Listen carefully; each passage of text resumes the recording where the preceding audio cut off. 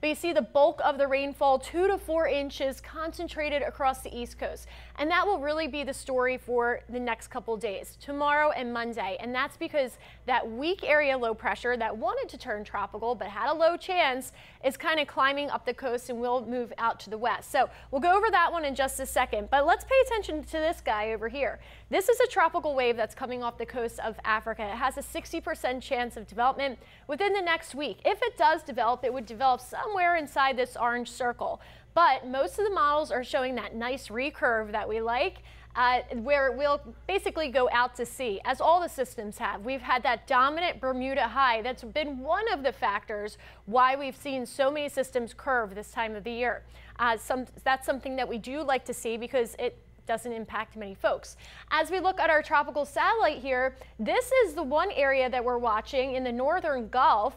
That will start to pull up towards Louisiana and Texas, but it's also trying to uh, pull some rain back closer to our coast.